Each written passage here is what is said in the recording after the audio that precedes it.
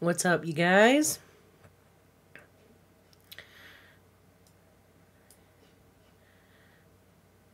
Hello.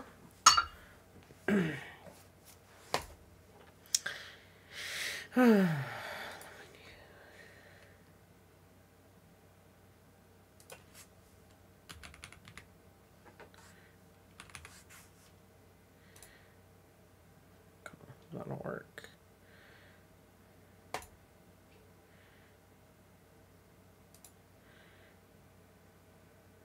All right. Let's bring this over here. First, let's go to an announcement that I just posted right before class. What's up, Angel? How you doing today, dude?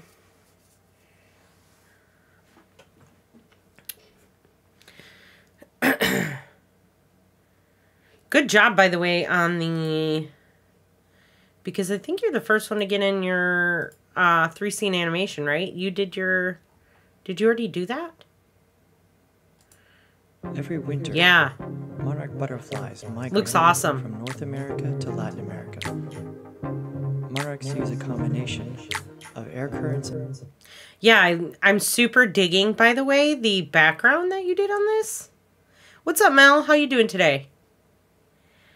Um, that looks really cool, Angel. Of course, I will uh give you guys feedback later on this kind of stuff. Right now, feedback um is happening outside of class. We just have too many students um in this class to get to have revision rounds as like a class period. It was just getting to be like taking up two classes and I just can't do that all the time and we're already behind on a project because of spring break. So, um yeah, I have to do I have to do feedback via the modules and give you like your critiques in the module comments, which is the worst way. I hate it because I can't like see it in real time and give you guys as it just doesn't feel um as like detailed to me, but um I still give you guys the appropriate stuff to change. It's just like it just feels a little um how do I want to say like disconnected. Like I like to tell you guys not face to face. Obviously, we're not face to face, but I like to have a video of it and so I like to go over them in class, but it's just so many students in this class. Um, because I think that students come from multiple Maricopa Community College like locations. I think this is the first time that I've had students from different different ones. So I'm trying to write an essay, but I took a break to eat. Um, that's probably good because working on an empty stomach is never fun. Although sometimes if I eat too big of a meal, you know, you want to take a nap. Um, I find it appropriate. So whenever I work, let me just say this. And I don't know if you guys uh have your work, you know, how like how you work if you've got it nailed down, right? If you've got something that works for you, you get your stuff done and you don't have problems, that's great. Me, I have to take like breaks in between like large bouts of work because if I don't, um it drives me crazy and then my work's not as strong. So usually I'll work on something for 2, maybe 3 hours and then take a break and I have to walk away from it and I'll work on something else to get my mind out of that, you know, thing. But sometimes like at least for me having ADHD, uh, I'll hyper focus on something and then it makes it hard for me to move away from it. Um, but I found that I do better work when I take breaks, you know, even frequent breaks when I'm working. Like, so that three hours, maybe I take like a few 10 to 15 minute breaks in between, walk away from my computer, rest my eyes for a little bit, you know, do that kind of stuff. It makes it easier. Um, anyways, let me jump into a couple things that I want to talk about. Well, we first thing I want to say is that we are three weeks and some change away from the end of the course, which is awesome, right? We're close to summer break, but um, that means that we have like crunch time um, as far as assignments go. So now that we're at the end of the course, let me zoom in on this if I can. Let me see here. Are you not going to work for me? There we go. All right. So now that the course is close to an end, obviously we're getting down to crunch time. And um, there's so I wrote an update for both late assignments and due date ranges, right? So if you guys have late assignments right now in the class, I will accept them up until April 30th. And after that, I will no longer accept late projects. And the reason being is because then we will be working on our final which is because I told you guys at the beginning we don't have a final exam for the class. Instead, what we have is like a final project, which is your animation reels, and we have to have all of our work done by then. And so, um, you guys definitely need to have um, all that work done by April 30th so that I have a little bit extra time to give you grades on any of that late work if needed, and that you have time to make those changes because then we have 10 days until school is over. Um, so a week and a half. And within that week and a half, we're going to be assembling our animation reel and we are going to be, um, you know, you're going to have to have your edited animations. So anything that i've given you feedback on has that feedback has to be implemented and put into your reel. If there are um, projects that are not in your reel you will receive points off um, for your essentially final project right? So just keep that in mind. You want to get anything that you can done by april 30th because if you don't um, it doesn't go in the reel, and then you're like already at a detriment for um, your final, right? So make sure you do that. Um, for every week that your assignment has been late, you will have 10% deducted automatically, and that is from the last um, date on the due date range, right? So if you get it in within a week, you you start at a 90%, right? And then I might have to deduct points or percentages based off of like whatever work you've gotten, gotten done if it wasn't completed or you know however it goes. Um but so that's how that's going to work. Um as far as due date ranges because we you know before it was the one week and then we change it to two d two week due date range. Um, but now that we're three weeks away from the end of class these due date ranges are going to be shorter and so um, I want you guys to pay very close attention moving forward to those due date ranges because they are going to be short and sometimes they will be within a couple days, right? So, um, especially because we have this project that we're going to be doing, which is your custom three scene animation. This is probably the longest project that you're going to be working on. So it's going to take the most work um, because you're going to have to create your own assets for it. Um, and then we will have the final that we're working on. So you guys want to really keep up in class at this point. So that's just kind of what I wanted to touch on first. Um, the next thing, let's go ahead and jump right into our next project, which is our custom three scene animation. We're not going to have any more student online participation questions. You guys are done with those. So woohoo, no more having to take time out of your out of your schedules to work on this. I want you guys to focus on the rest of the um, projects in the course. Now, I posted a couple different things. One was how to remove background noises from your voiceover because you guys will be creating your own voiceover for your custom three scene animation. And um, we have a couple different things here. This is actually, I should have moved that forward. Here's your script approval for your custom three scene animation. Okay. Now, this is only 10 points, um, but it is if you want to get your script approved by me and not and make sure that it's all said and done and you're ready to go into the next phase then you will write your script up. It's only going to be a few sentences long so it's nothing like it's not you know it's literally going to be like the monarch butterfly thing which was just three short sentences right? So um two to three sentences uh remember the more you have to write the more you create which i will talk about in a little bit. And um, this is due by tuesday night or thursday night i'm sorry. So today i have it open and you guys have until thursday night to turn that in to get approval on it. What happens if you don't do that? I might not approve of what you've made for your three scene animation, and then you have to go back and do even more work because it wasn't approved, right? So just keeping that in mind. Um, so the custom three scene animation, what is this? What are we going to be doing? Um, we're essentially going to be creating an infographic like we did with the monarch butterfly one, right? Um, it's going to be three separate scenes like the monarch butterfly scene was, and it's going to be facts about something that is um, based in reality, okay? I don't want you guys to do things on, it, it can't be stuff like, Mario or Nintendo or Pokemon or like not that I don't enjoy those topics. I do enjoy those topics, but it needs to be based in truth. And so in in really what I want to see here is your own creative mind working and making up your own assets that don't necessarily look like something that we've already seen before.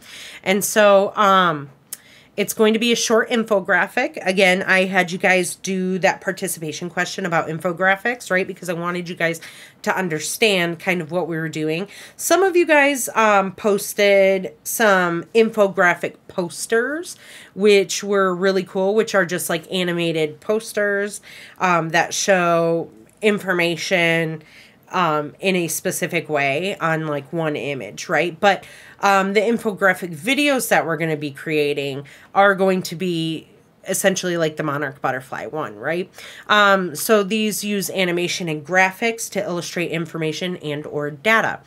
Um, infographic videos are popular uh, way of making information and statistics more memorable accessible and easily digested um, because we have there are studies that show that people pay more attention to um, video and things that they're seeing. A lot of people learn visually, and so infographics help to really digest information and break it down. Um, Jose, what's up in the chat? And Angel, absolutely, you can do one about giraffes, right? What's up, Jasmine? Good to hear. Good to hear that you're catching up. Um, so, with that being said about the infographics for this assignment you guys are going to be tapping into your own creative creativity to create your custom three scene animation animated infographic right? Um, you'll be choosing your own topic. So let's say for instance angel will pick his about giraffes. Um, you're going to be writing your own script recording your own voiceover choosing your own music uh, creating your own custom assets, and then anim- animating them, right? Here is the biggest thing right here simplicity is key in order to complete this project, right? Um, it'll take around four to plus hours, so you guys need to budget your time according. Um, and you need you need to think about how quickly you can get things done, and that's why I said when I was talking about the um, script when writing a script, the more information that you have in that script, the more in the more visuals you're going to have to put with that information, right? And the more animation then you're going to have to do. So you guys have to think about that, right? You have to digest this and I really need you to understand this is that the longer the script is, the more facts that you have, the more your work you're going to end up doing and so I want you guys to be like I want you guys to write your script and then think, is this something that I can do within the allotted time that it is due? Because this, um, if you notice, it has a one week date, okay? So it's much faster. It doesn't have a two week deadline. This is the last day to turn this in and then the next day is the last day to turn in all of your late work right i said april 30th is the last day to turn in all of your late work so you guys want to get this done, right? Um, I don't want to scare you, but I just want to be realistic in this when you guys are thinking about it. So these are some examples from previous semesters that we've had some really cool work that people have done. Um, a lot of these stick to a similar format as the Monarch Butterfly assignment, which is great, right? You guys can do that. Um, where there's like an icon that pops into screen and then maybe like some kind of map happening and then um, like an end scene that's happening, right? And so when you're kind of looking at these, you're going to notice that. I'll play a couple of them here. Um, this was Janelle's, and she did a fantastic job. Um, let me actually pause this because there is audio to it, but I know you guys can't hear it um, because I can't hear it right now. Let's figure this out.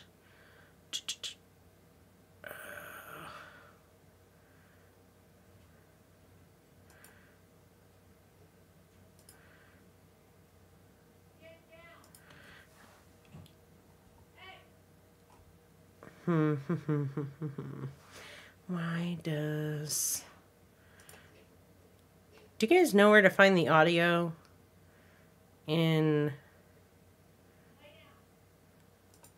Chrome? Let me see here. History. Settings.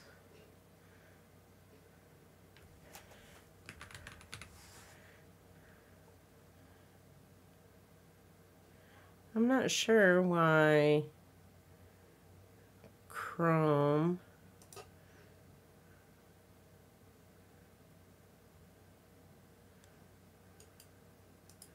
Hmm.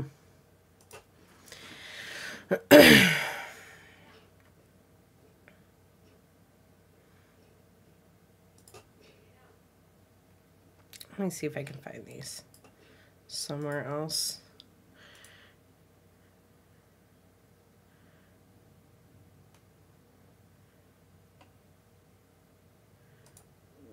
Let's see if this will work.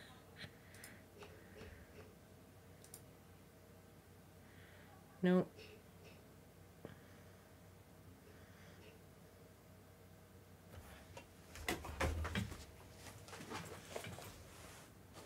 I'm not hearing them for my headphones either.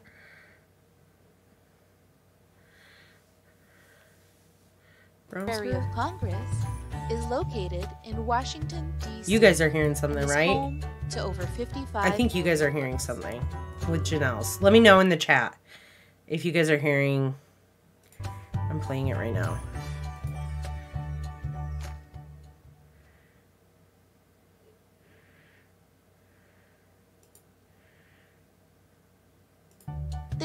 Estimated Um, while we're while I find out if you guys can hear the audio right worldwide. now.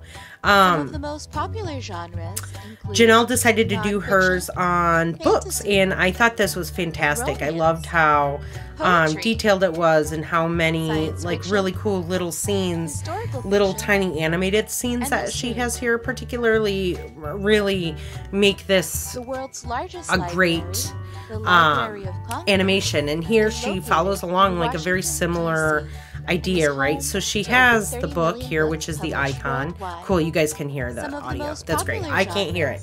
um, but as long as you can, can hear it that's what counts right? um, romance, see something here. poetry, science fiction, yeah. historical fiction, no and mystery. I'm not hearing it there either. Um, but yeah, she's got like, and then it ends up with some sort of map scene here. Um, and so, You know, these are really good examples that show you guys kind of what other students have done in the past. Um, this one is really cool. This student did his about The different Argentinosaurus dinosaurs, was the largest animal to um, which I the thought was great. It lived during the late Cretaceous period, about 90 to 100 million years ago in South America. Um, really cool, just like easily 100 tons and digestible could reach over information for you 120 feet in guys. But you're noticing much as 2,000 that like the more information there is, right, the more animations that you guys have to do. Um, so I, I encourage you guys to look at all of these uh, examples and like pick one. I think this one in particular is very very close. Yeah, this one's this one's the most um, follows the monarch butterfly three scene animation the closest okay? And so this is acceptable. This would be fine if you guys did something like this as well.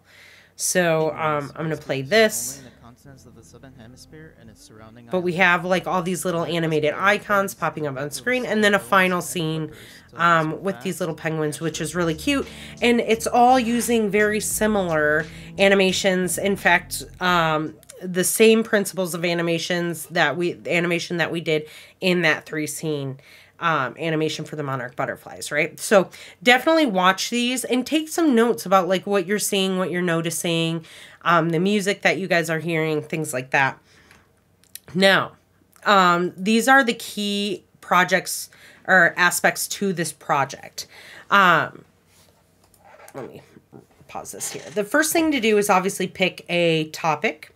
Um, and then you're going to write a script. You're going to look up some facts about your topic. So, for instance, with Angel, his would be giraffes, right? I've had animals tend to be the best choice in this um, project in particular because it's easy to find a lot of facts on animals and it's easy to kind of shorten those facts up to be uh, a short script. And um it's an approved thing right away. Usually the animals never i never am like no don't do this.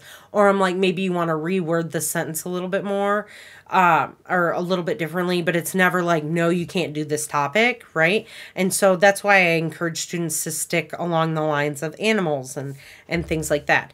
Um your script when you're writing it it should be two to three sentences. Um, again remembering the more you write the more you have to create. I do not want you to reuse any of the assets from the monarch animation or any previous project right? So if um, that just means you can't do a butterfly one okay? Or you can't reuse the same um, assets that you have used in any of those previous projects. So, no music, anything like that, right? I want you to leverage all of the skills that you've developed in this class. So, there has to be some sort of rigging happening. Um, obviously, the animation and the fundamentals of animation or principles of animation. Um,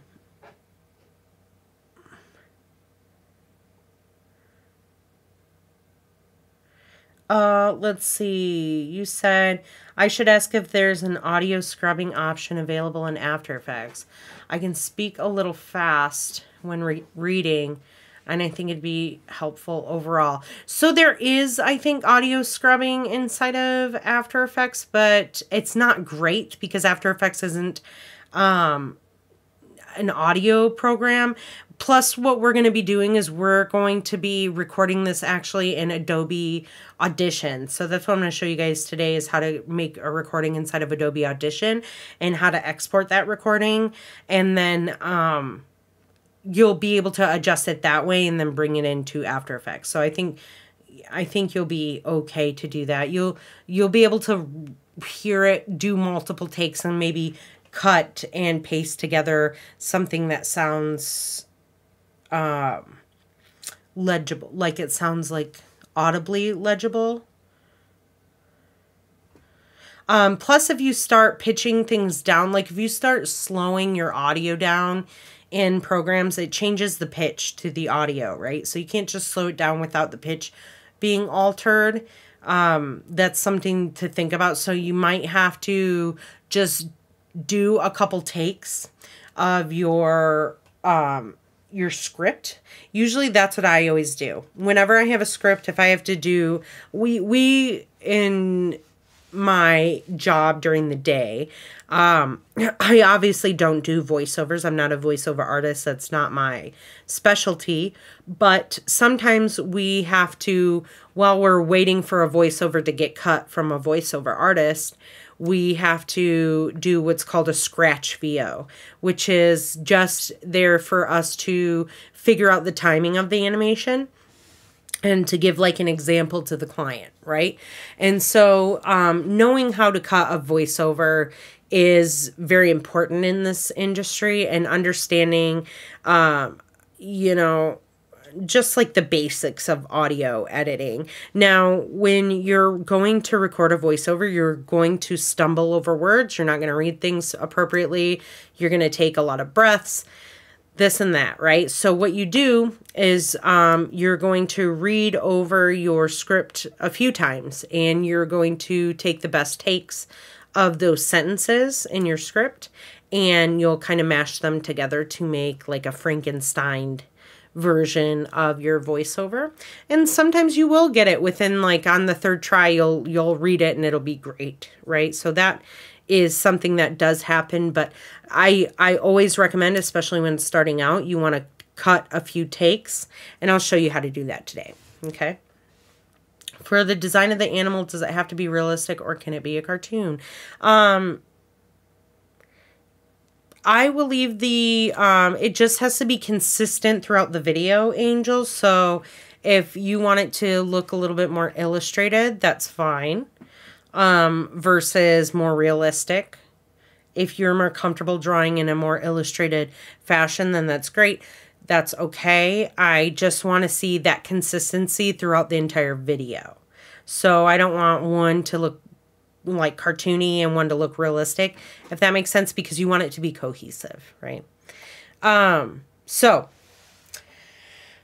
uh, you have to back to this um, the key projects here leveraging all of the skills that you've developed right so you have to use at least two multi-part animated elements like the robot arm and the butterfly right so multi-part meaning that there's more than one element that moves on the object. So for instance angel if you did the giraffe right you could obviously rig the tail to the body and the head and the legs and um, the neck would be a big thing to think about. You might want to um, consider that because bending the neck of a of a giraffe right first of all you got to think of it like a long limb right and the giraffe's neck isn't going to bend like my elbow is going to bend it's like a very smooth like almost like a spine right like a snake or something. It's very long, it's very smooth. And so you'll have to probably animate that using the pin tool, um, which I can always show you how to do uh, later on. Maybe we'll talk about that if we have time in this class. If not, we'll talk about it on Thursday's class. Um, but um, rigging, it has to be a multi-part animated element, right? So the butterfly had the body and the wings and the antennas. All right. Um, use parenting and or layer relationships. Um, no text or typography. That is a big one. Other than the credits, um, I don't want there to be any text throughout the video because it's an infographic and it's meant to be relaying information via imagery and not not using text, right? So that's something to think about and and just be aware of right away. Anyways, no one wants to read a bunch of text on their video. It's boring. No one wants to sit there and be reading a video, right? If we wanted to do that, we would just pick up a book. Um, so this is a big one. A lot of students want to try and do that. That's a no-no. Um, pick a nonfiction topic that you're familiar with. So for me, right, I'm super familiar with cats. Obviously, I own two of the little devils and they're pain, but I love them. I've had cats since I was little, so I would probably do something about cats. Um, I also am, um, let's think of what else. Like I have comfortable, familiar with marine life and aquatic animals. I am very comfortable um, knowing about different species of just like I, I just know a lot about marine life and aquatic stuff. So I would I could pick something along that line, right? The just something that I'm already comfortable with so that when I go to write my script and look up these facts, I'm not like panicking about it, right? I'm already like, oh, this is something that I like. It's a topic that I like to talk about. Um here. You may not use, or what does it say? No, we're done with that one. Um, It must have three scenes of animation, and that is not including your credit scene. So just like the Monarch Butterfly, right? There were three visual animated scenes in there, and then you had the credit scene. So just same format of that. Um, you may, but are not required to use that format of the Monarch project. So you can have the scene one, which is the animated icon scene two, which is a map animation, and scene three, which is just like an animated kind of outdoor scene, right? So that works as well. Uh, this is a design class. It's not just uh class about anime animation is also design and so i think this is honestly the most fun project that you guys have in this class because uh you get the freedom to do what you want and pick whatever topic you want. But with that freedom comes responsibility, right? It's like getting your driver's license and driving a car. Any type of freedom has responsibility that comes with it. And so, um, considering layout, right? Like, I don't want to just see a bunch of stuff just thrown up there because you have to fill out the scene. I want it to be a conscious choice. Um, using a consistent and coherent color palette, that's very important, right? I don't want it to be um, very chaotic and like questionable. If you guys, I have had students and I've known people in the past who are colorblind. And so if you guys need help picking out a color palette, let me know and we can discuss that. Um, and then using this is where Angel, this is where I was talking about using a consistent illustration style. Now, picking out the music, we want to make sure I always have students wanting to use audio and music that they like from certain artists and unfortunately we can't do that nowadays. Um you know, back in the beginning of the internet it was the wild west when you could just kind of use anything without having to worry about copyright laws, but unfortunately that is not the same nowadays and things can get stricken um, down off the internet for copyright use, which or copyright infringement. And I'm sure you guys are more aware about that now because we are all more aware about copyright issues. So, um, making sure that you're using free to use open source music is very important. I would suggest that you guys use something without lyrics because you don't want it to combat what your voiceover is saying, right? And so there's a few different places where you can go to get um, free music, and one of those is the YouTube audio library. I have a lot of students utilize this one, um, and this one is great, right? Because it's just meant to be on YouTube. Um, free sound. There are sound effects and other music options and stuff on here as well. Um, free stock music, and then you can make your own music if you want to at soundtrap.com. Um, music makers, which I think is really neat because this is like, um, I don't know if you guys if you guys have ever had an Apple product. They have like GarageBand, and so it's like similar like this.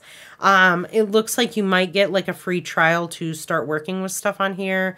So it's just an option for you guys to kind of make your own stuff if you want to. So if you have the time and or if you're fast and you like to do that, I would definitely re recommend making something, right?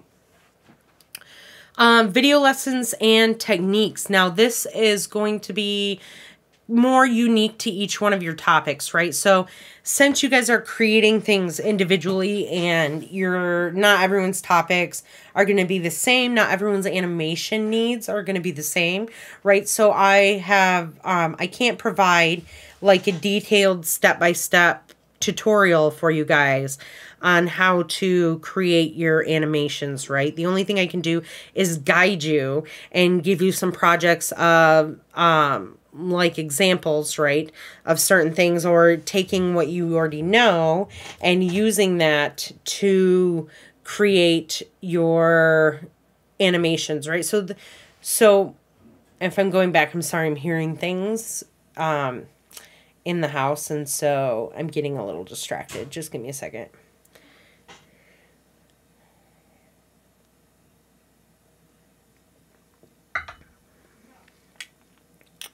Okay, let me kind of backtrack on that. Because I can't provide a detailed step by step tutorial on how you guys can animate certain things for this project, it's important to keep in mind the skills that you already have for animation and then kind of think of that while you're writing the script, right? So you're writing the script and you're like, oh, I can do this for this scene because I already know how to do this, right? So just kind of having those ideas in your mind while you're putting together a project, right? And again, that 80-20 rule, it should be 80% of what you know, maybe 20% of what you don't know, and that we have to look up, we have to maybe do a little research on, you might have to reach out and ask me how to do it. Um, those type of things, right? Let me pause this real quick. I don't know why I clicked on that. Um, anyways, there, uh, here, if you want to watch, is an overview of this project. Um, here is another video I teach you guys how to record your voiceover. This one right here is going to be important for all of you, I think, especially if you're doing animals. This one right here, um, or staying along that scene, uh, or the format of the monarch butterfly, right? Where there's the three scenes and you do the icon, the map, and then the nature scene. This is going to be beneficial for you because I show you guys how to not only create um, a 3D map, but how to create a globe. Um, angel, like I was talking about, um, the neck of the giraffe. This one will be great for you. How to use the puppet pin tool, and um, about how to create eye blinks for creatures because that's important as well, right? Um, because your animal isn't going to stand there and not blink. I mean, unless you've challenged it to a staring contest, which we all know isn't true. So, um, definitely this one, and this is going to, these are all going to come in handy. Like a lot of stuff that you do, especially if you end up doing infographics and working for marketing companies and stuff like that. Um, I do infographics all the time. And so these are um, very common uh, techniques and, uh, you know, things that people use to create that. Here's some other Illustrator tools. Um, but you're not required to use Illustrator for this project. So, uh, like I've always said um, in the past, for you guys that you know illustrator is smart to use because of its vector format but if you are more comfortable if you're faster in a different program you may use that program to illustrate. Just keeping in mind all those things i've said. If it's a raster based program make everything bigger than it needs to be and then when you bring it into after effects you will scale it down to the appropriate size of your um, of your composition, right? Because everything's going to be 1920 by 1080. We've already been doing that. But if you're creating something in Photoshop or Procreate or some other drawing app that you guys use, um, you will want to like double the size. So 1920, 1080 times two and make it that big and then bring those in, right? Uh, here is a script I want to give you guys. Now, this is not a requirement here.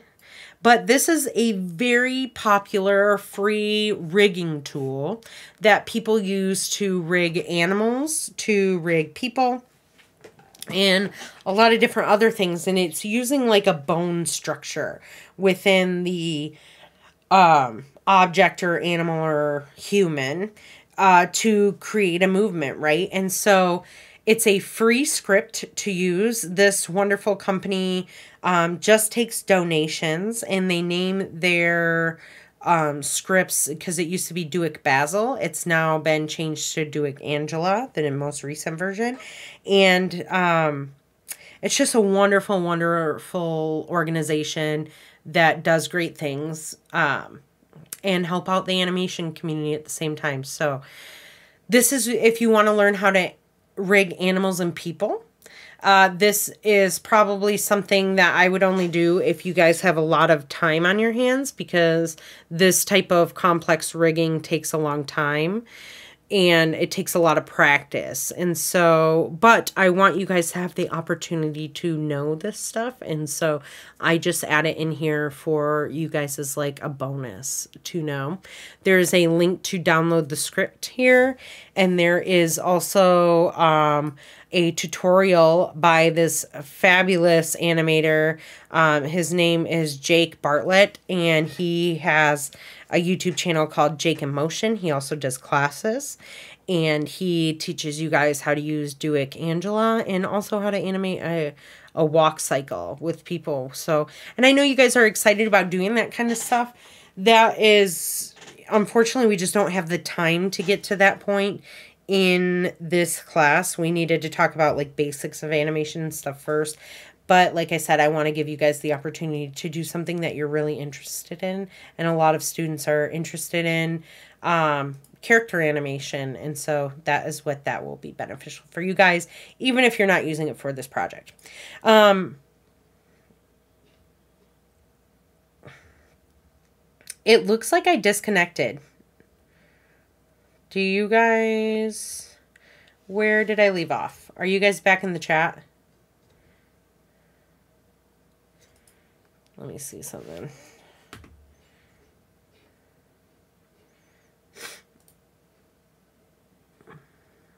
I'm back up and live, but Looks like I lost you guys at some point.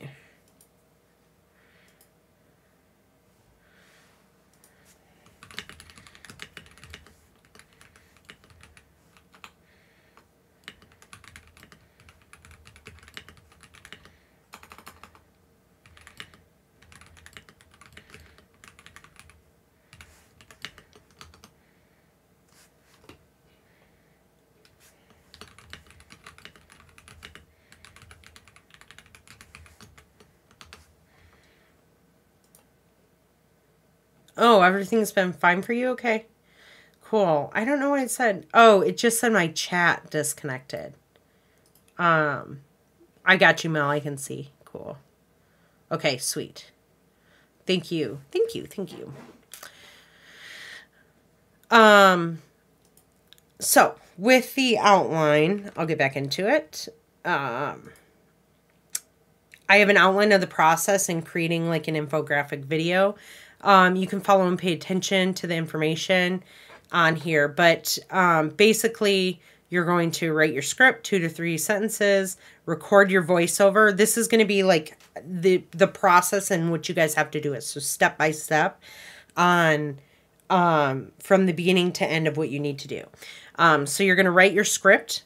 Then you're going to record your voiceover with a mic. If you don't have a decent mic, feel free to use like your phone or a gaming headset or if you need me to cut you i have had students who just are not very comfortable uh, you know they like maybe english isn't your first language which is completely fine but you would like me to help you with that i can help you with that as well. Um, but i want you guys to at least try to cut your own uh, voiceover. Now, like I said, you can use your phone with, um, like iPhones have the headphones with the mic in it. You can use that. Um, your gaming headset. But I would prefer if you guys have like a nice mic setup. If you guys have it, great.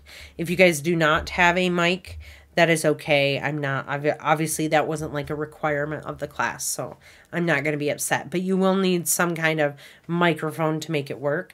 And that is why I posted that other, that alternate um, module on here and how to like clean up your voiceover. So that's going to be one you need to watch if you use like your phone or or um, like an older gaming headset or something like that. And um, this is how to import your file into After Effects so you guys can watch that. I want you to sketch out, you guys can sketch out your scene. Um, and this can be super quick. This isn't going to be anything that you're going to show anyone.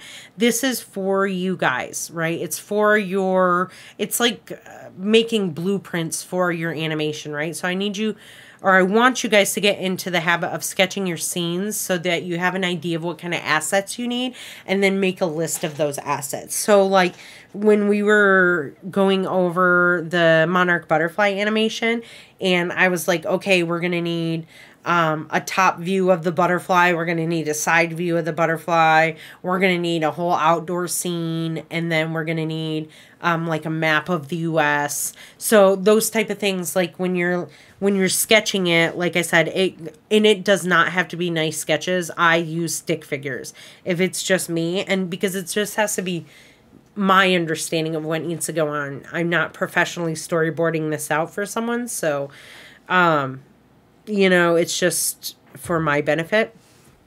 And so I suggest you guys do that because then you won't be animating and be like, crap, I got to get this, draw this too, right? Um, and then I want you to, then the next thing you will do is begin to draw your list of assets in either Illustrator, Photoshop, Procreate, anything that will export a PNG file or that can be imported into After Effects, right? And then I have this note here about if you use a raster program. Um, and then determine which assets you will need to animate and determining which parts of that asset needs to be moved independently okay so like when we were creating the butterfly i had to separate the wings the body and the antenna um, for instance, Angel, if you do the giraffe, right, you have to think of what would move separately on the giraffe. So if I'm thinking about this, Um, you have obviously the legs and different parts of the legs. I really suggest that you do not try to do a walk cycle. Instead, what you do is is do any shots like you're seeing will be of the giraffe's upper body and above. And that way you don't have to or just standing stationary. I I highly highly highly recommend you do not try a walk cycle with it cuz most likely it's going to be wrong the first time, right? We all start from somewhere but for this project since there's not a ton of time it would just be really hard to do it's worth doing on your own time though if you want to try it you could do one without and then do one with if you want my my opinion on how to change it or any feedback you can always do that if you have time. But um, if i were going to do the one that you were doing angel like the giraffe right? If I started from the head down and moved my way down their body, um, I would have their head on a separate layer, their eyes on a separate layer, um, their mouth on a separate layer because they're probably chewing or doing something like that. Giraffes are notorious for a long tongue, so um, maybe I would have a, a fact about their the length of their tongue or something and have that on a separate layer. Their ears move, right? You have to think of like how animals move um, so their ears move independently, then the whole entire head would be separate from the neck. Right? So you're seeing how you have to draw these layers on separate or these these parts of the animal on separate layers because those are things that would animate on them, right? And then if we keep moving down, we would have the body which would be separate from the neck, the tail which would be separate from the body, and the legs, which would be separate from the body, and parts of the legs that would be separate from each other, right? So the upper leg, the lower leg, and then the feet. So that's a lot of stuff to just draw just for that, but we're going, you know, the best part about it and thinking like piggybacking off of the Monarch Butterfly project is that um, we reused that asset a couple times within the project. So that, you know, that could be beneficial. You do it once, but you can reuse it in different ways. Um, so thinking about that, but also thinking what's smartest way to work with this, right? So putting those parts that need to animate on separate layers and separate parts in separate files if you're not using Photoshop or Illustrator. So what does that mean? Um, when you're like if I were to draw something in Procreate, I just say that because it's the only other drawing program I'm comfortable in. Um, and I were to create all of my individual like parts that need to animate onto separate layers. So I've already drawn them on their own layer, right? I would have to export each one of those layers out um, as a separate PNG with transparent backgrounds, right? Or what I would have to do is find a way to convert that to a Photoshop file and um, then bring that into, bring that Photoshop file into After Effects. So there's a couple different ways to do that, but um, you know, whatever you're most comfortable with, but knowing that if you're using raster programs or something that doesn't natively import into After Effects that you will have to think ahead about that. Um, and then once you create your assets and you import those into After Effects, you need to create folders for the assets according to the scene to keep the assets organized, right? Um, and then you're going to rig or parent any of the assets that will require any complex movement. Um, you're going to create comps for each scene and then label them like we did for the Monarch scene. You're going to lay out all of your assets in each scene in the appropriate composition. So what I like to do is I like to kind of set the scene up without animation so that it looks like whatever I drew, right? So if I were to do um, the scene like Angel you did with your butterflies for your Monarch one, I would just get that prepped in, um, I call it prepping of the file, right? So I would put all of that stuff, the background, like your your desert scene that you did, I would set all of that stuff up and all of my compositions first and then worry about going to animation. Because that way once I'm done animating one scene I can just move to the next scene and continue animation and I'm not like trying to set it up right? It's already set up for me And then um, you're going to start to animate your scenes. And then you're going to put the scenes together in the main comp with your voiceover and make sure the animation lines up with the voiceover. And then you're going to add your soundtrack and making sure that it doesn't drown out that voiceover or compete with that VO. And then you're going to add credits and be sure they're on screen long enough to read out loud. And then finally, you're going to render and submit your project with Media Encoder, like always. Um, ooh, that was a zoom. That was a choice. Now, it's always going to be a single MP4 with the following parameters um, for this deliverable. The video is at 10 seconds minimum without the credits, right? So, um, you know, it'll it'll take about 10 seconds like uh, the monarch butterfly scene took around that time too. So, as long as it's like that, you will be okay. Um, a minimum of three scenes without the credits, right? You can't have two scenes and then a credit. It won't work that way. A minimum of two to three sentences of voiceover. You need to have background music, and the volume level isn't going to compete with the voiceover audio. Let me kind of zoom in a little bit further like this. There we go. And then you're going to credit, you're going to have credits here and you're going to credit yourself as the animator and then have your name, right? If the song when you're looking for your audio and if it says that you have to attribute the artist, then you will add the song information here like you would put song and then the artist's name, right? Um, if it does not say that next to any of the licensing options, then you don't have to worry about it. The YouTube stuff, you're not going to have to worry about doing that here, but the other ones, you might have to. It might say that you have to give credit to the artist whenever you use it for a certain project, right? So just keeping that in mind. Um, the video is going to be encoded at 1920 1080 at 24 frames a second. And um, you guys don't have to post on Slack, but on Discord. Let me put, let me update that. Let me change that real quick. While I'm changing that, do you guys have any questions about it? Because this is going to be the most complex project that you guys are working on.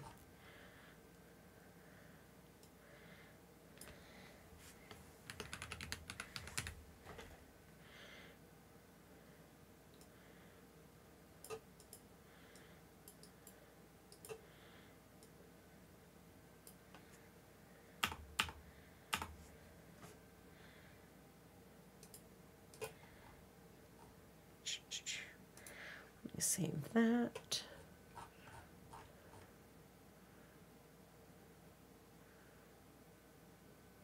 Cool.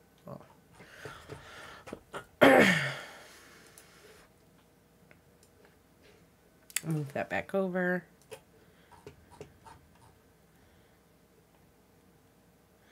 All right, and then here is the rubric, kind of how I'm going to grade that, right? So um, it talks about the animation of everything, the scenes, the audio, that kind of stuff. Uh, sounds good. You've got to get back to your essay that is due tonight. All right, sounds good, Mel. Thanks for sticking in um, for the beginning of the live stream, and good luck on your essay. Have fun on that. I am happy I don't have to write essays anymore. I'm not going to lie. All right, let me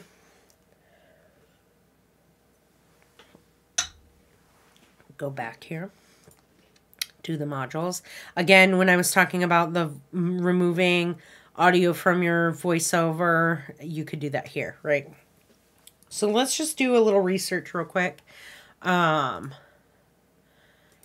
about some kind of topic. I think what I'm going to do is I will do some kind of like uh moth, I guess, or something like that, since it was kind of close to before and since you guys won't be doing something like that um or let me do actually i know what i'll do. Maine coon cat breed. I love these cats. They're just so cute and fluffy. Not now. The maine coon cat. Look at that beautiful face. Look at those big old kitties. They're big. Okay so, what would I do? Wikipedia is. I don't think Wikipedia is a good source for facts. um, because anyone can put whatever they want in there. So I urge you guys to stay clear of that um, and maybe look for other types of um, of Ooh, cool. Of of sources to find your information from. I'm not asking you to sort to source your information, but I just want you guys to you know, use somewhere that is a reputable source. So Maine Secretary of State cats, Maine Coon cat. Um, I would probably put Purina. Meh. Yeah, I mean that's not bad. Pet MD. Yeah, maybe we could do that. Um, let's click on this and let's see. Facts about the Maine Coon. Uh, so uh, great, like uh, already with this fact, like going through here and reading, um, the first sentence of this is, is I can think of like right away for the second scene that would be similar to the map scene in, um, in the monarch butterfly, right? Is that they originated in Maine where they remain the official state cat, right? Like, so I could have, like, I'm already thinking, oh, great, I could have like an icon scene around the state of Maine. Like, so instead of the North America map, I would just maybe have uh, Maine, the state of Maine map or something like that. Rumor has it they might be related to the feline companions of Marie Antoinette. Um, I probably wouldn't have that. Uh, adult males can weigh up to 25 pounds, and their slightly daintier female counterparts weighing 10 to 14 pounds. That's a great. Um, that is a great fact to put here because uh, I could compare their sizes, similar to the example that we had. Um, let me go back to this one second. I'm going to have to let one of these little terrorists in my room.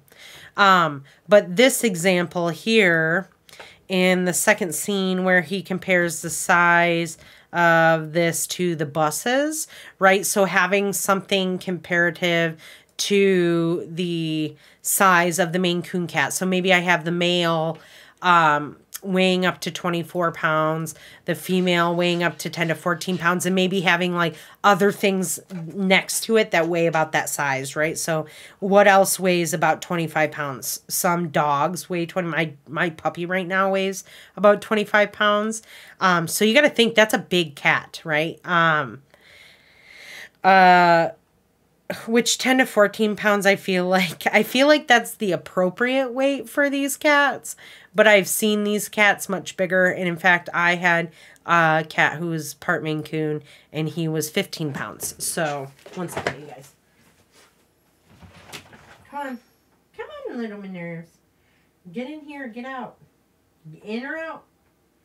Choose your game. Come on on slate off. I'm sure what fan of. All right, I'll leave it cracked for you. All right, so um, that would be a good fact to pick, right? So maybe I'm just gonna quickly write some stuff down. And where can I write the note? Right, so like um, I like to just, I'm fast at using Google Docs because Google Docs are what I'm comfortable with. So I would just create a new one and just put here um, Maine Coon cats um, originated in Maine. I might rewrite that to be more of something, my own words.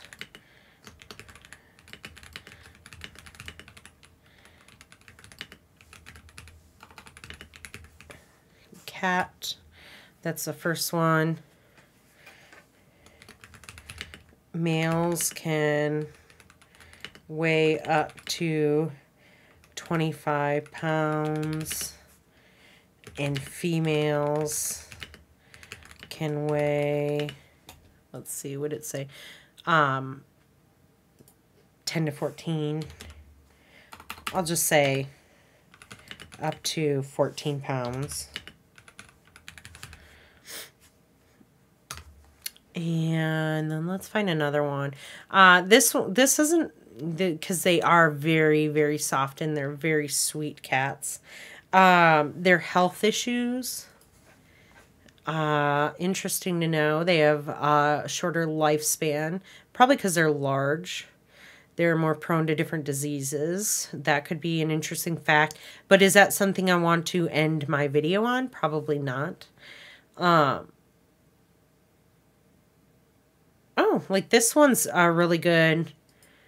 Uh, thanks to their big, lovable personalities, I'm going to copy that and paste that here and then probably rewrite that, right, in my own words. Um, they are the largest domestic cat breed. Let's see here.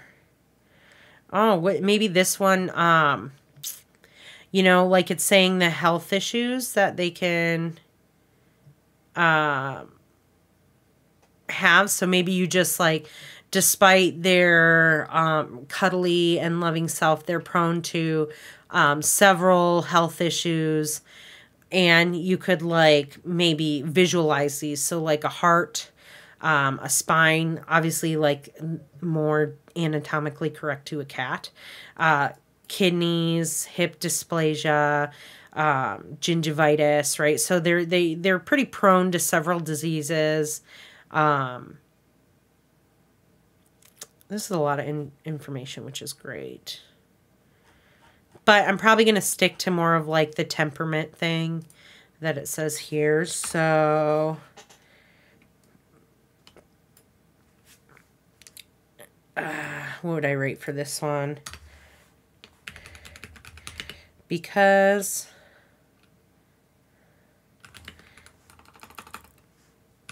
of the Maine Coons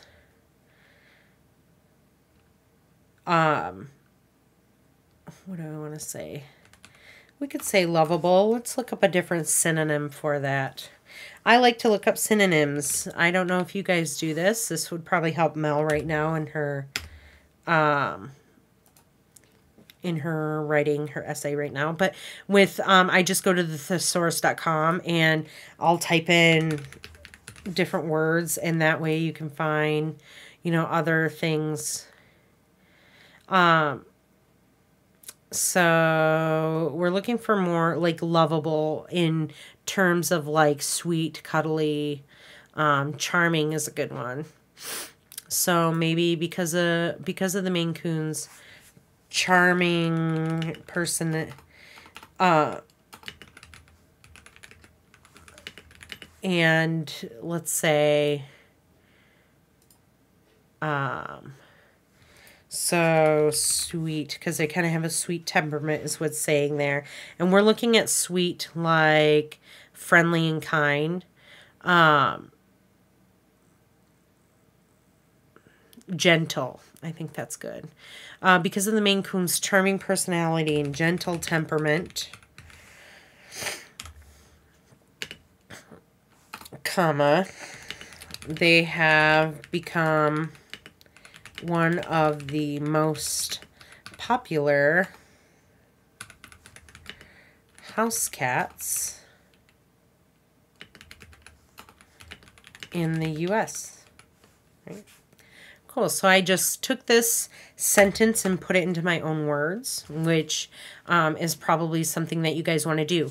Another thing that I want you guys to notice is that I did not start each one of these facts with Maine Coon like the Maine Coon this, the Maine Coon that. I did not do that. I, I you know, thinking of how it's going to sound when I read it out. So, Maine Coon cats originated in Maine and are the official state cat males can weigh up to 25 pounds and females can weigh up to 14 pounds. Um, maybe making them the largest house cat. I might cut that part because I say house cat right here, right? So you want to think about being non-repetitive. That's the point that I was trying to make by saying by not writing that in the beginning, Maine Coon this, Maine Coon that, or whatever, like giraffes this, giraffes that, right? We want to be thoughtful on how we're writing the sentences. Um, so males can weigh up to 25 pounds and females can weigh up to 14 pounds, making them the largest house cat. Because of the Maine Coon's charming personality and gentle temperament, they've become one of those popular house cats in the U.S.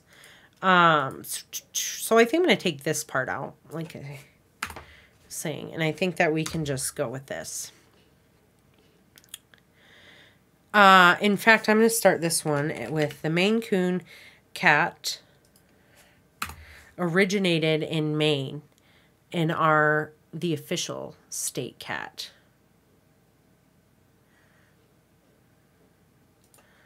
Okay, perfect. So that took me all of like 10, 15 minutes to research and write. Um, the next thing that I'm going to do is bring this into Adobe Audition and we're going to record it. So I'm going to show you guys how to do this. So when it comes to having your mic set up, I'm just opening Adobe Audition right now. And I'm going to set this off to the side so I can read my script while I record my VO.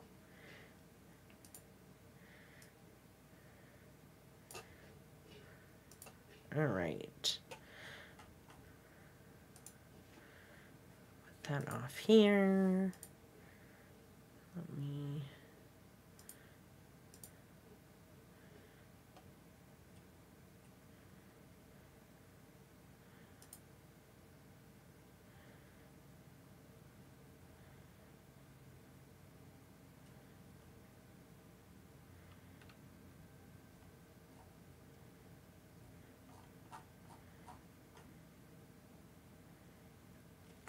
Okay. I am going to shut my door for this.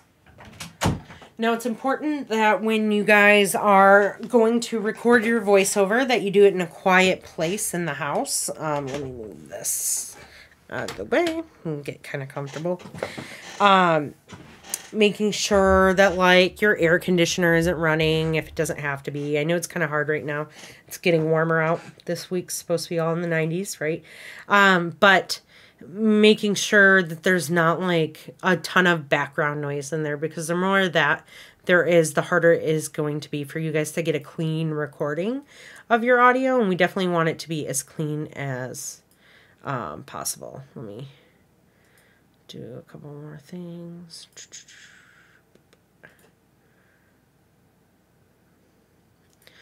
All right.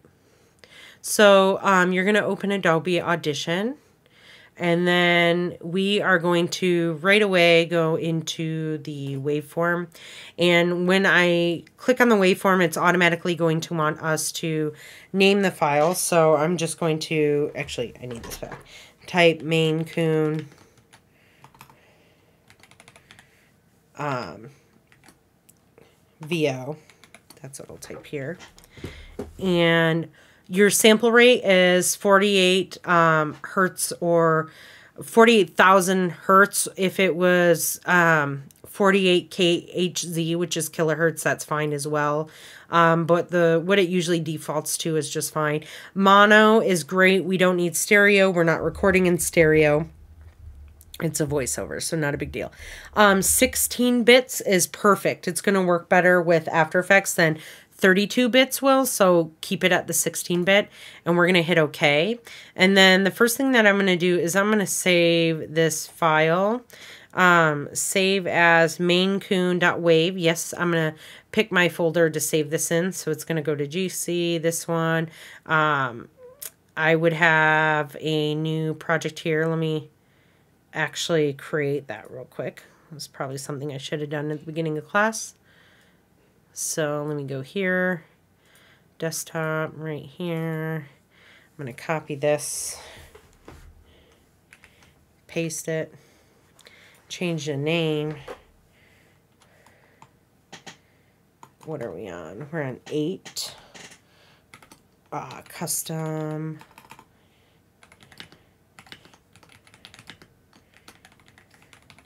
right? Custom three scene animation.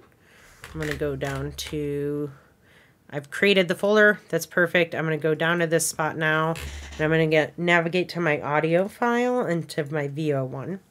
I'm going to save it there format um, a wave file is perfect. Mp3 um, is a compressed audio file and it doesn't sound as good. So you guys definitely want to make sure that you're using the wave file. By the way adobe audition is in your adobe creative cloud app. So if you um, if you don't see it um, in your if you don't see it, like if you haven't had it downloaded, just find your Creative Cloud app and download it from there. So I would just type Creative Cloud, click on this, and you will go, let me go over here. You're going to go to all apps and then go down here and find it if it's not in your repertoire of applications. So, um, first of all, I want you guys to know that um, let's go ahead and hit record here and make sure we're getting a signal, which it does show that I am getting a signal on mine, which is perfect. I'm going to stop the recording there. I'm actually going to just delete that um, because I don't need it. But if you are not getting a signal, right, and when you hit record, um, and record is right there, you can also hit shift and space. If you hit shift space bar, it will automatically start to record and stop recording if you need it to. So um, just keeping that in mind. But um, if you're not getting a signal, you can go to edit and down to preferences and under general preferences, um, you can go to audio hardware and input here. You want to make sure that it is um, inputted to whatever your mic is, right? So you're just going to want to change that default input there so until you get that signal. So if you're using a headset, it would show your headset on there, so on and so forth. Um, you don't want the loudest of the waveform to be hitting the top of the graph, like right up here in your decibels, right? Um, the sweet spot to making sure your audio is at like negative 12 dB when you're looking at the audio levels bar is if your mic, um, you can turn the gain down or up to meet that spot. Um, but basically, you want to be about two fists away from the microphone. So if you take your fists and you just make two fists and you put them together like this, and then you just make sure that you're about two fists lengths away from your microphone, then you should be good. If you're using the headphones, pull that mic out here and talk with it right out here, right? Um, but that's usually the sweet spot. So if I start to record and I want to see where my decibel level is hitting, it is hitting right about that negative spot. If I'm just talking, it's a little bit higher than that to negative three, but that's okay. It's still working for me. Um, when you're recording your sentences, you want to record a couple of takes, right? Um, and you want to record those takes with different inflections and different ways of saying things uh, maybe taking breaths in different spots. Um, but you want to make sure the biggest thing is that you're giving yourself a long enough pause in between your sentences so that um, you have the ability to kind of cut things up and move things around when you bring it into After Effects. So, um, and it it just allows more freedom when like moving your audio around. Um, let me pull up my thing right here. I want to do, what do I want to do? This. Yeah, I want this to be here. I want this to be here. I'm moving things around so I can see stuff. And then that right there. Perfect. Okay.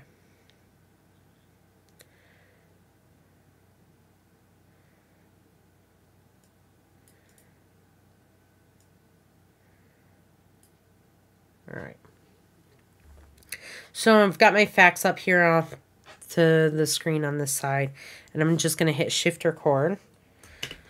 And, oh, first of all, I want to do that here when I've got my audio, my program selected. And so um, I'm just going to stop talking for a second and then I'm going to start to record my my VO. The Maine Coon cat originated in Maine and are the official state cat. The Maine Coon cat originated in Maine and is the official state cat. The Maine Coon cats originated in Maine and are the official state cat. Sentence 2. Males can weigh up to 25 pounds and females can weigh up to 14 pounds. Males can weigh up to. It's okay. If you make a mistake like this, leave it in there. You can cut it out later. Males can weigh up to 25 pounds and females can weigh up to 14 pounds. The males can weigh up to 25 pounds and the females can weigh up to 14 pounds. Sentence 3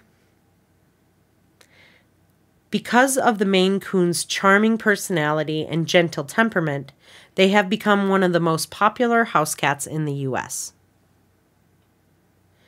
Because of the Maine Coon's charming personality and gentle temperament, they have become one of the most popular house cats in the U.S. Because of the Maine Coon's charming personality and gentle temperament, they have become one of the most popular house cats in the U.S. All right, I stopped that. And I'm automatically going to not need this beginning part, right? So I'm selected. If I'm replaying so, this, um, I'm just going to stop talking for a second and then you guys are hearing it right now, but I can just take this section, I can pause, and if I just highlight it by clicking and drag, if you click and drag, you can highlight sections, right?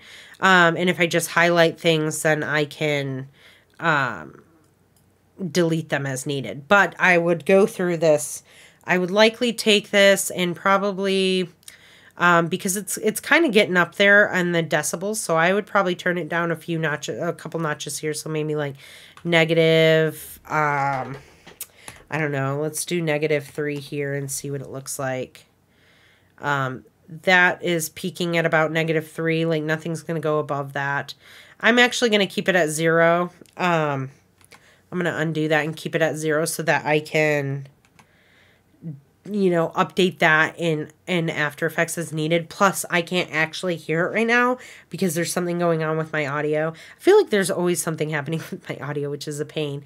But um, I know that you guys could hear it when I was playing it because I could see the desktop audio on here. Um, but um,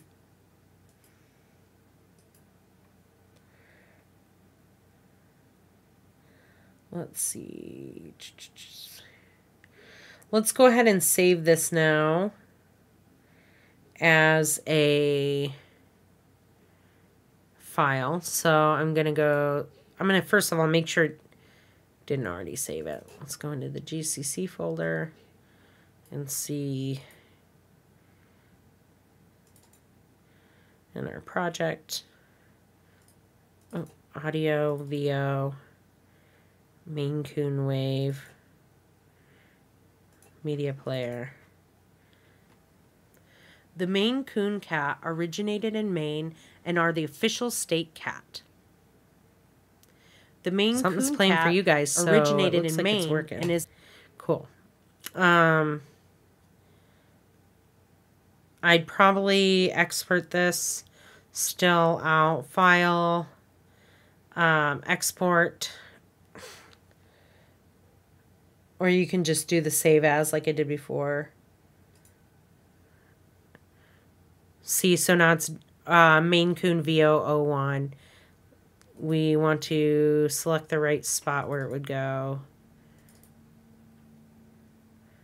Just because I can't hear it, that's the one I want to use. Um, because I know I'm saving it right now. Audio, VO. I'm going to save that perfect.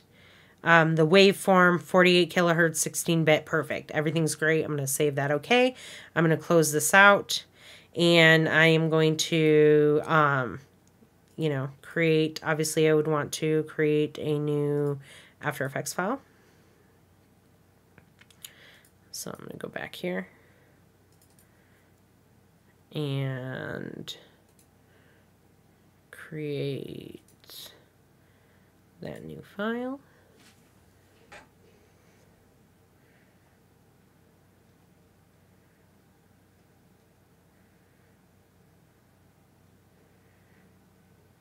This class is probably going to be short right now because this is what I wanted you guys to show you guys first because I want you guys to pick out your topic and I want you guys to get it approved and then Thursday we're going to go through some animation techniques, right? So um, and then by then I'll, I'll have my audio ready, but let's set this folder up or let's set this file up anyways.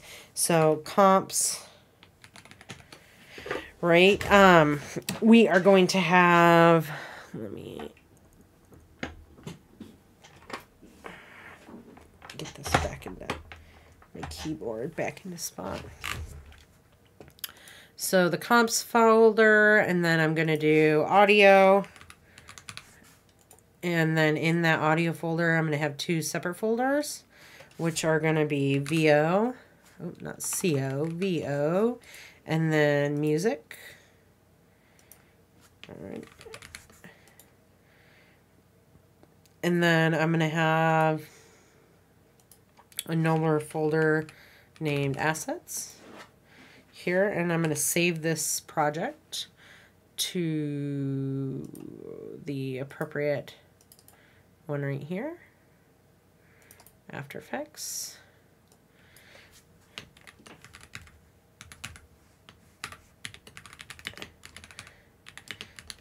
Maine Coon Cat. All right, I'm going to save that. So my file's ready. I'm going to bring my audio file in already since I already have it. Import. And navigate to where that is. Audio, VO. I'm going to do the first one. Footage is okay to import it as that because it's just audio. Let's see if I can hear it now. I don't think I'm going to be able to. The Maine Coon cat no, originated. At least you guys can hear stuff. That's all that I'm worried about. Okay, it might be a little loud. Sorry if it is, but cool. So um, that's kind of where I want you guys to get to for Thursday night's class. I want you guys to have your script written. I want you guys to send in the approval for the script um, to me so that I can tell you yay or nay, right? I'm not, I'm, I might tell you to rewrite a sentence or two or something, but it's better that I tell you now than you guys, and then you know what it is instead of having to rewrite it, recut the VO, do all this other stuff, right? Because you're going to want to go through and we're going to pick and choose be the best takes of that VO um, once I can get my audio back and, um, put that into a thing and then in the meantime right i would probably want to because we'll say like mine has been approved right for maine coon um let's just type maine coon cat uh script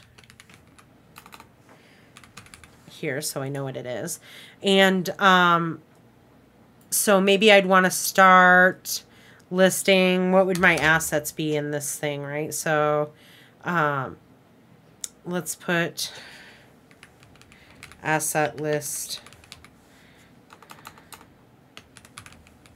Let's put up here, enter that down, up here, go back, put script. Um, turn this into the heading one. I like an extra space into between here. Heading one, perfect. And then I go down here and start writing what kind of assets I would need. So obviously um, a front view of the Maine Coon cat. Um, I'm going to need um, map of Maine and probably um, maybe possibly slash maybe another imagery of state cat like uh, maybe you know like how they have um, state cat i don't know Maine Coon here. Let's see if they have anything. No, that's fine. Oh, I wish my state animal was a kitty. Anyways, then I'm going to have to have a male Maine Coon and um, a female Maine Coon and possibly, um, let's say, two other animals slash things that are a similar size to use a comparison, right? Maybe another, um, maybe another breed of cat, right? Um, so maybe I'm going to put just, these are notes that you guys want to start taking, right? So that you kind of know what to start doing. So maybe like another just like standard breed of cat we can show on here, right? Um, and then because Maine Coons are charming personality and gentle temperament, they become one of the most popular house cats in the U.S. So maybe um, uh, show, here I'd want to show a room with the cat on the couch, right? Purring or something. Sleeping and being cute with toys around something like that, right? So now that I have my asset list, I can go through and start illustrating things that I wanted that I need to make and then start setting that up inside of After Effects. Um, so that's what, you know, that's what I kind of want you guys to start at least getting your script and your topic your topic chosen your script written so I can get it approved by Thursday's class and then we will go through and start um, doing some animation stuff. So all right, you guys. Um, I am going to cut class an hour early right now, which is kind of soon, but we're getting towards the end of the semester, and this is more of like a choose your own journey type of thing. So, um, you know, there's only so much. I have to teach you, kind of give you the tools on how to use it, and now you guys have to go off and use these tools, right? So, um, definitely do that before Thursday's class and um, keep in mind any questions and maybe some techniques you would like to learn to animate. Um, and that way you can have a list of things for me to do or you can write in that um, topic thing like maybe I want to animate this, I need to know how. And so I can either direct you into that spot or um, show you guys how to do that on Thursday if we have time for that. But yeah, that's what we're going to be doing. Do you guys have any questions before I shut the live stream down?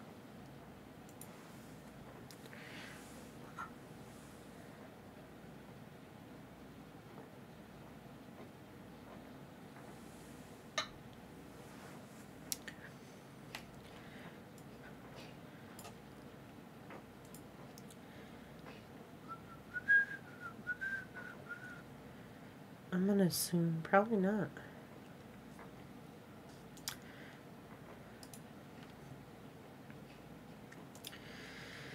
All right, you guys, I will talk to you in class on Thursday. If you guys have any questions, let me know in the meantime through Discord or email. And I hope you guys have a good night. Have fun writing your essay, Mel. And I will talk to you guys soon. Bye, guys.